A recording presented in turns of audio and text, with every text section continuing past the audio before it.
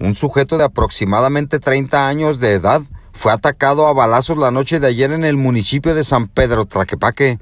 Los hechos se suscitaron en las calles de Privada Cabañas y República de Cuba. A decir de testigos, sujetos a bordo de una camioneta fueron los causantes de efectuarle al menos dos detonaciones de arma de fuego, para después darse la fuga. Rápidamente, vecinos hicieron el reporte a las autoridades y al personal médico, quienes a su llegada encontraron al infortunado sujeto ya sin vida y se logró saber que presentaba dos lesiones producidas por proyectil de arma de fuego, una en cráneo y otra en tórax.